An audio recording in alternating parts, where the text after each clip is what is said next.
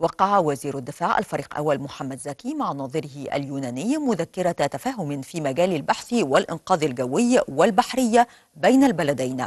وذلك بحضور سامح شكري وزير الخارجية ونظيره اليوناني نيكوس داندياس ونصت مذكرة التفاهم على تقديم كافة أوجه الدعم بين الجانبين بما يحقق التكامل في مجال البحث والإنقاذ الجوي والبحري.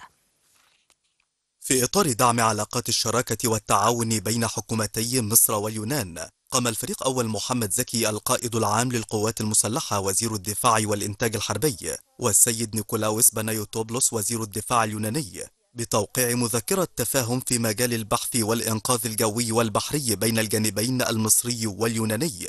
وذلك بحضور السيد سامح شكري وزير الخارجية المصري ونظيره اليوناني السيد نيكوس ديندياس.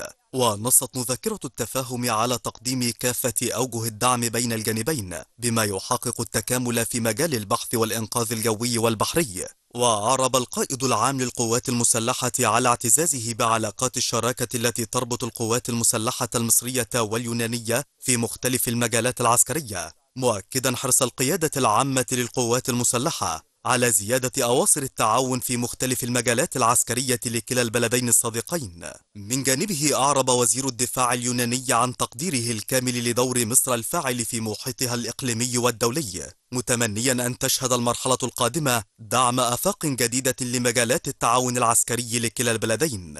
عقب ذلك عقد لقاء بين الفريق أول محمد زكي القائد العام للقوات المسلحة مع نظيره اليوناني والوفد المرافق له الذي يزور مصر حاليا. تناول اللقاء مناقشة عدد من الموضوعات ذات الاهتمام المشترك في إطار تدعيم مجالات التعاون العسكري.